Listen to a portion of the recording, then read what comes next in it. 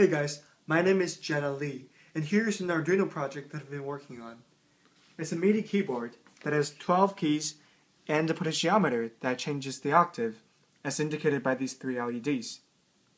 Here's a C on the first octave, the second, the third, and the fourth.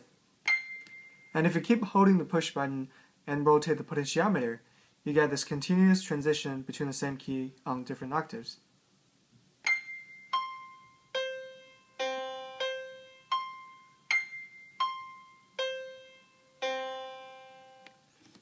It's a very simple voltage divider circuit.